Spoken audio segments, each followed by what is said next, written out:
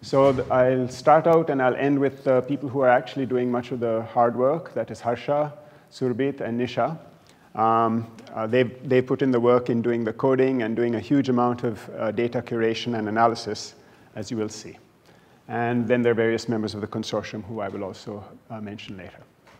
Okay, so uh, let's consider some kind of pathway model.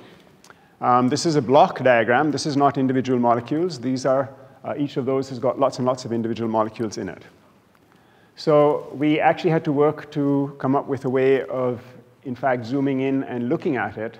Um, I, I, said to them, come up with a Google Earth-like thing so you can zoom in and see, see how horrible it really is, but do so in a manner where you don't lose track of the various pieces. So you can zoom in on any one of these if you so desire. And each one of them is extremely complicated.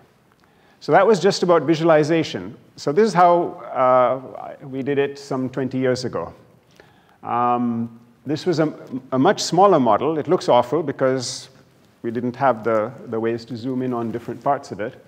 Um, but the problem is that for a long time, people have been kind of stuck. That is a, a, a size of model with maybe 100 or so reactants and reactions seems to have been where people have plateaued in their efforts to come up with this kind of detailed uh, signaling reaction uh, kinetics-based model. So why have we been stuck all this time? So it's not because of computer power. Computers can do, um, and even then could do pretty much uh, much larger calculations. It's not been because simulators can't do it. The, it's, for, for the machine, it's just a matter of scaling it up. It's not been because we lack the data or the capabilities to get the numbers. What I think the, the problems have been are the, the following few, which is, first of all, these, all these models have been handcrafted. We've gone out, individually dug up the various citations, worked hard to uh, fit them into the model, and that takes a lot of time and effort.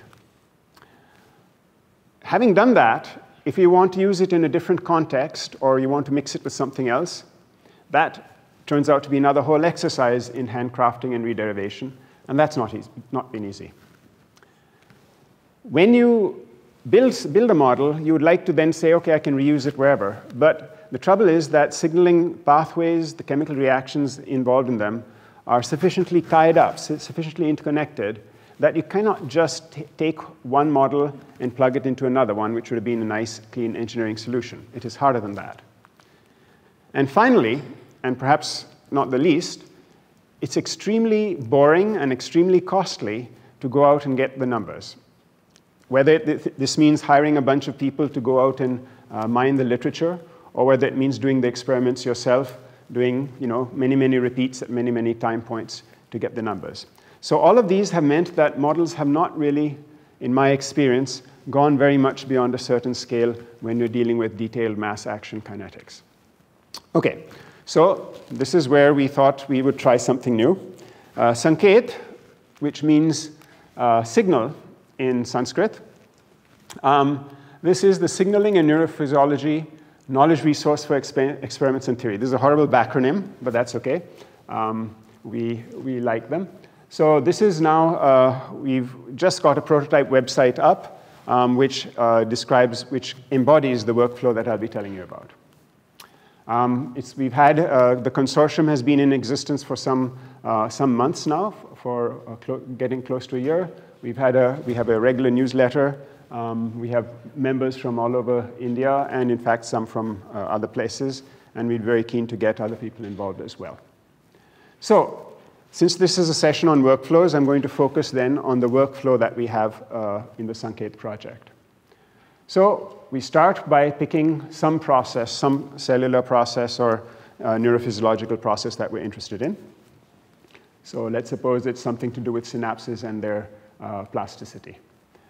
Once you've picked a process, then you want to make a model of it. You want to say that these are the mechanisms that we believe in. Um, we want to get some data to populate those models. And then this part is where I'll focus most. How do you make the model as reproducible, as accurate, as good a representation of all that data? And then once you've got the model, there's many, many things that I'm sure you all know you would like to do with it, which range from uh, making predictions about how the brain works, how plasticity works, to examining various kinds of disease um, and diagnostics. I mean, there's a lot of things you can do with a nice detailed model of cellular function. Okay, so to start with, uh, we were all in different labs interested in different things. So we went about picking processes based on things that we were interested in. Um, one of them, which I'll be talking about most, is uh, the AutSim. That is a, a, a, project to simulate autism. So that is what I'll be telling you about uh, in most detail. But there's other people, for example, Suhita Nadkarni, who's from IS, uh, Pune, one of our institutes in, in India. She's very interested in presynaptic processing. Um, and there's another grouping of people who are interested in synaptic plasticity. Basically, we can expand the topics we would like to look at uh, depending on who's interested in it. So that was what we picked. Um, the members of this uh, group looking at the uh, autism project are listed over here, and they're from different parts of the, they're from all over the place. Fra uh, the autism, as uh, all of you know, I'll just uh, remind you very briefly. Um, one of the major causes of it is, uh, is, is uh, Fragile X syndrome.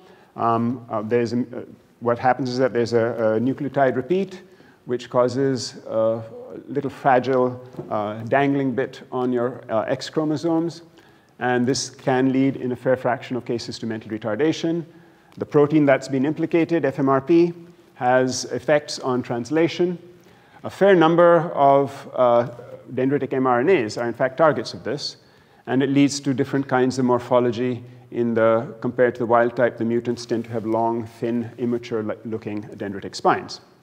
So this was the system we decided to look at, and in particular, we decided that we would look not at the systems or cellular level, we'd look at the subcellular level, what is happening at the synapse, uh, where, how is it that incoming synaptic activity is converted into protein synthesis. So that was the system that we picked. And of course, the other groupings picked other systems, other sets of pathways to look at. So uh, how do we go about making a model? What we did was, uh, first of all, we need the model uh, modeling framework. In this case, we chose uh, the simulator Moose, which is partly because we have developed it, but also partly because these uh, calculations uh, certainly involve multiple scales of, of functioning, ranging from the signaling pathways, the molecular uh, calculations that I'll be focusing on, but also looking at cellular biophysics and also, because there's a synaptic morphology phenotype, also on uh, how the geometry of the cell changes. To do this, we uh, dipped into a database, DOQCS, which has got many, many signaling pathways, uh, particularly to do with the synapse. Um, we took a model of uh, synaptic kinases, we took another model related to uh, activity-driven protein synthesis, and because we are looking at autism, there were certain specific pathways that we know from the literature that had to be incorporated. So we took all of these things and stirred well and mixed it up to get a really, really big, nasty model, um, which is the, so that is the thing that I uh, started out showing you. So it's got the additional bits in there, and we merged together the kinases and the various uh, pathways involved in, in uh, uh, in protein synthesis driven by synaptic activity. Okay, so this is a, a biggish model. It is substantially larger than anything we have tried before. I know that some people may have tried uh, yet bigger models, but let's see, let's see how we go along with this, because the goal of this, the next step of this, as you will see, is how do you make sure that this model has actually got its feet on the ground, that it's got some basis in reality. Okay, so just, as I, just to reiterate, each of those things is a fairly complicated block of reactions, and we need to parameterize, we need to specify numbers for every single one of those reactions. Every single one of those concentrations has to be defined in some way or the other. So that is our challenge. Um, and of course, that's not the end of our ambitions. At some point, we would like to include, for example, reaction diffusion. We'd like to include the stochastic processes uh, that are taking place in the communication with the spines and dendrites. We are going to certainly put in electrophysiology and calcium dynamics and morphology change. But for now, we have enough on our hands, as I'm sure you will see in a moment. OK, so that was how to make the model. Next question was, how do we get the data? Now, in a perfect world, we would have entire institutions at our disposal generating these numbers for us. Um, this is not so easy. But we do have some uh, activities going on. In fact, we have been able to tap into a consortium activity on our own campus where uh, they're working with human iPSCs, hum human-induced pluripotent stem cells, which means that basically you can take uh, wild type and disease uh, uh, patients, sorry, wild type and disease uh, cells, differentiate them into neurons, and then study their physiology and chemical properties, something you cannot normally do with human brain tissue. So there's a bunch of things we have begun to do on them. Uh, we only have a little bit of data from this at this point. We would like to get human slice. We actually have a line into a, a, a hospital which uh, produces such things. So we hope in, in, due course to be able to do that, that we haven't yet gotten going. Uh, mouse uh, tissue culture, there's a lot of things that we can do with that. And mouse slice. Now, as uh, you heard uh, right at the beginning of the, of the, of the day, that, you know, mice are not monkeys and monkeys are not people either. And certainly the, the, what we have in a dish is not really representative of what's going on in your head. Um, but what we, the best we can do is to try and get a few uh, sample points and try to interpolate or extrapolate to figure out what might be going on in the, in the actual brain, in the human brain. So this is how we're approaching it. The other side of it is to go to the literature. And the literature is vast and voluminous and extremely hard to parse, extremely hard to extract numbers from. So this is a job that uh, Nisha in particular has been involved with. She has uh, so far curated some, uh, some 230 to 250 experiments, um, which I'll show you about in more detail. And these are going to be the fundamental constraints that define our model. So, um, and one of the tools that we have in the, in the uh, FindSim uh, project, in the, in, sorry, in the Sanket project is in fact a way of taking experiments from the literature and sticking the numbers uh, together, putting in, uh, as you will see, the, the aspects of the experiments that need to be replicated by the model. Okay, so that was the first two steps of the workflow. Now we come to the heart of it, which is how do you, once you have this model, once you have these experiments codified, how do you get, how do you get to improve the model? So um, there are various components for that. There's, of course, the simulator. You need to be able to run the calculations. Then there's FindSim, which is a, a project that um, I actually spoke about uh, uh, in a previous uh, meeting, uh, INCF meeting, um, and which has been published. So what this does is it allows, it, it specifies a way of codifying uh, experiments and to uh, take those codified experiments and run them on the model. So you take the stimuli that were given in the experiment and you apply them to the model, and then you compare the model outcome with what happened uh, uh, in the real experiment. And you can do that from the web interface, which can also manage this uh, uh growing database of experiments.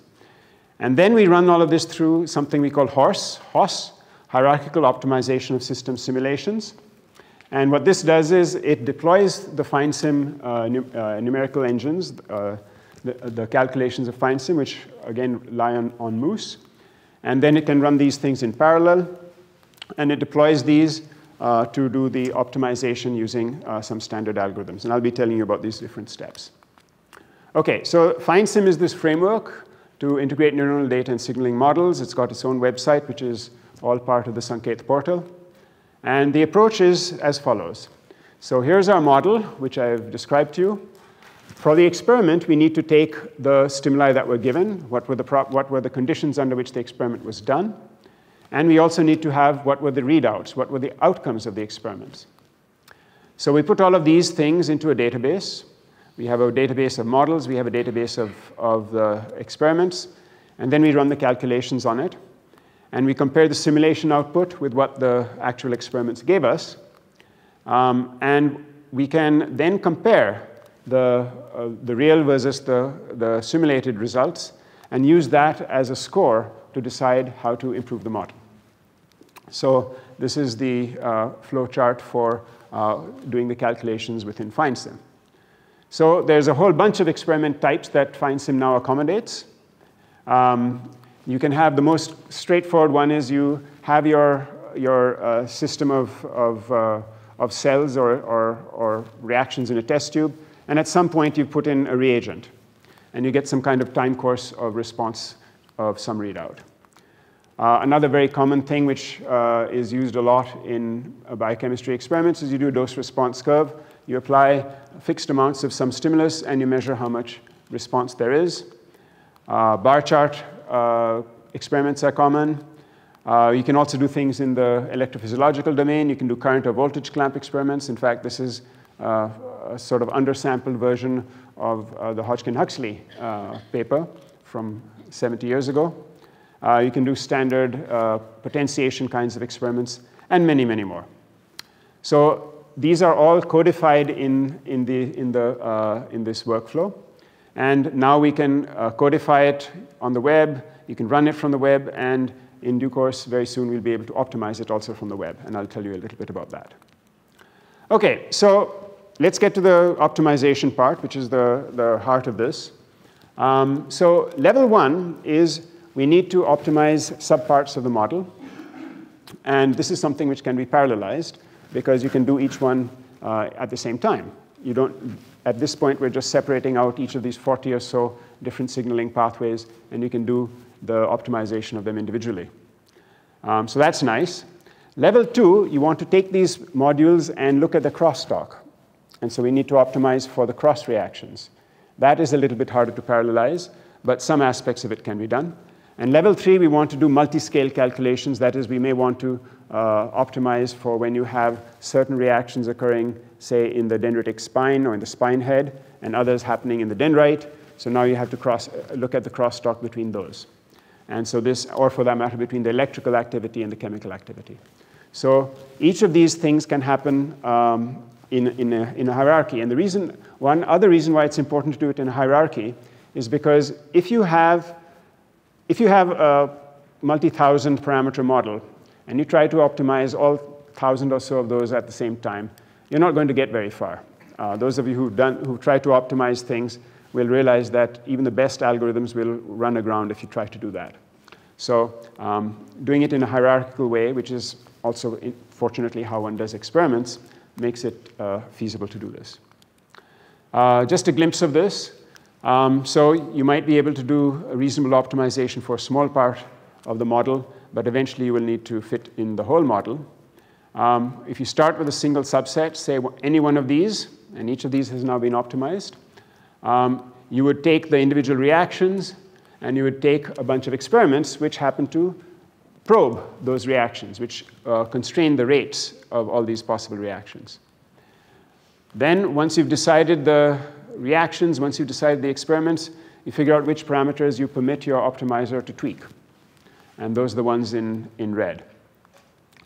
And having done that, you you unleash your optimizer, which is uh, you know, a fairly standard algorithm um, to optimize these.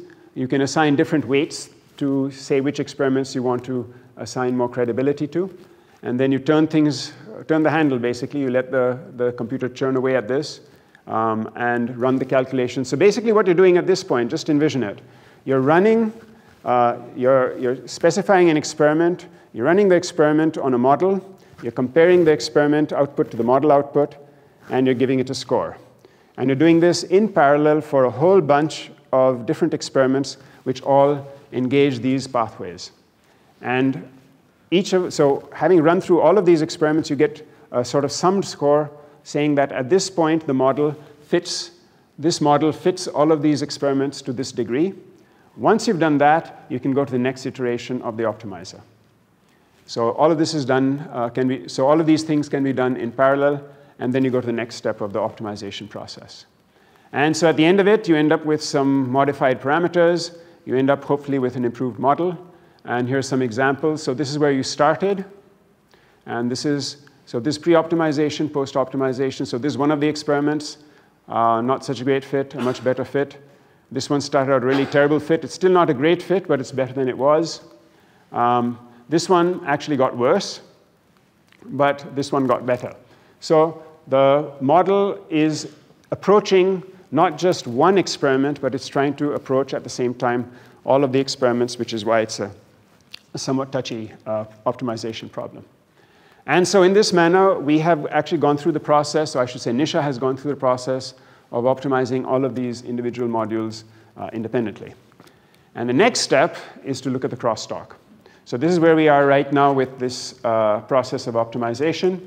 And um, it's a similar kind of thing. You pick up a set of experiments that define how the pathways interact, and now you try and, uh, try and optimize for those uh, rate constants.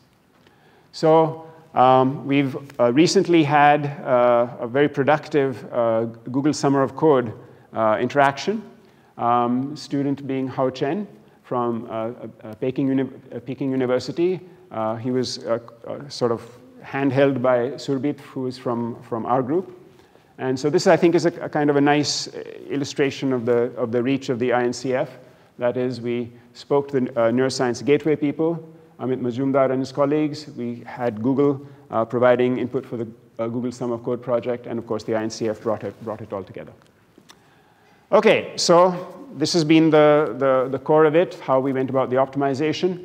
I'll uh, give you a glimpse of some of the things that we are already beginning to do with these models. Uh, one, for example, is to compare what happens in the wild-type version of the model with various mutant versions of the model. So we can optimize based on uh, mutant parameter, mutant ex experiments on mutants to get a different version of the model that applies to uh, the mutant. Uh, so for example, we know that in the mutant, the uh, levels of these different molecules uh, have been changed. And we can run the calculations and say that, for example, for a certain stimulus, we get different kinds of responses. So this is a very early stage of, uh, of analysis, but we can already start to play with the models and say, this is what happens in the wild type, and this is what happens in the mutant. Um, another thing that one can do is one can play with or examine how well the large uh, body of experimental literature fits different theories of, uh, of uh, these mutants. So for example, there's a, a metabotropic glutamate receptor theory, mGluR theory of, uh, of, uh, of, Fragile X syndrome. But there's a competing uh, theory also, the cyclic AMP theory. And which of these is probably, accounts for more of the observations? This is something we can now uh, begin to play with. And there's, of course, for pharmacology, there's the, the enduring question of what are the best targets and what will be the side effects. So for example, if you were to believe in the mGluR theory, you would expect that uh, this would be a useful target, uh, but then you would have all of these as potential side effects. So we can calculate those. Uh, or if you believe the cyclic AMP theory, this might be one of the targets, and then you'd have side effects in different parts of the model. So these are now things we can put numbers to and say uh, these would be the side effects if you put in a drug which targeted that molecule or that molecule.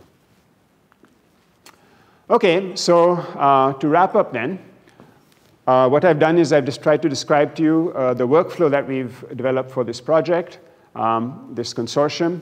Um, it starts with coming up with a system that you're interested in. Um, then one has to develop a model for that system, of course, closely based on a lot of data that pertains to that. And then we have a whole system, a whole workflow to take the available data, structure it, and be able to use the data in a very systematic and a principled way to make a better model. And finally, then it's up to the, to the people in the project to figure out what they want to do with it. So that is the, the essence of this project. And to wrap up, I would especially like to thank Harsha, Nisha, and Surbit, who've been core to the project.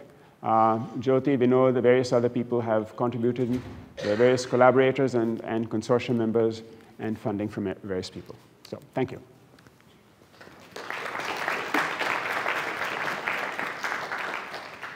Fantastic project. Congratulations indeed. Uh, so far, I've seen only big models which have been done within this EcoCyc and the BioCyc projects, which are the microbes and really mm -hmm. small organisms. Mm -hmm.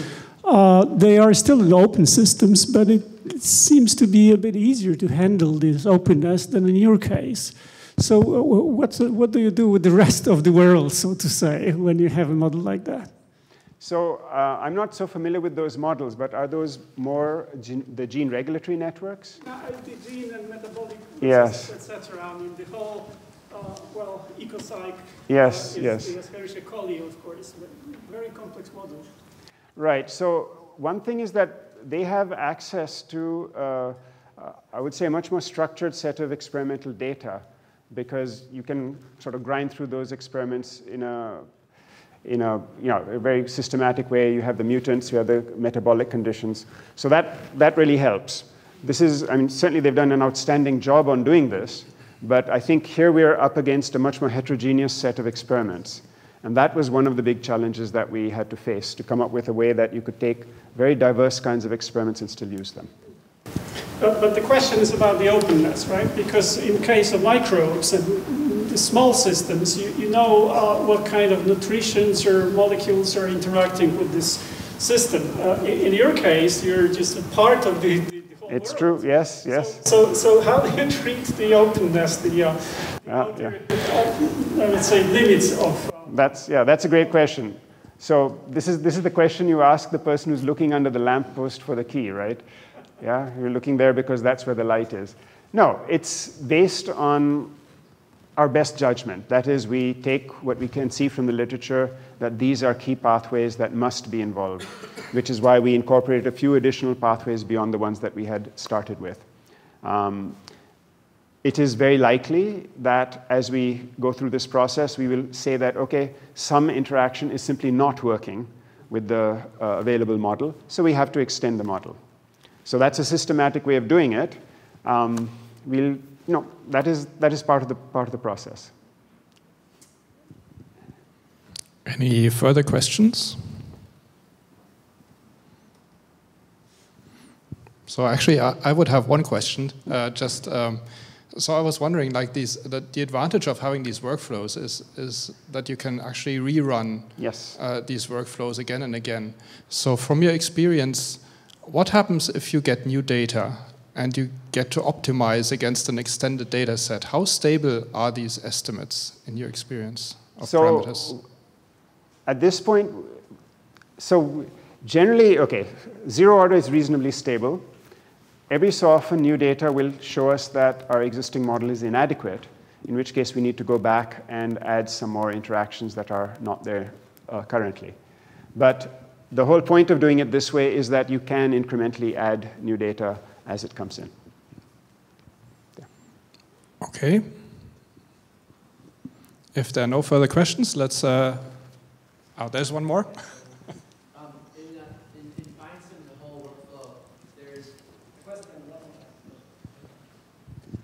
in, in the FindSim workflow, I imagine there's, there's parts of this that are very uh, specific to the kind of system that you're, you're, you're optimizing, and then other parts that are more general, right, that could apply to maybe some a different kind of uh, experimental system or a different mm -hmm. level of modeling. Mm -hmm.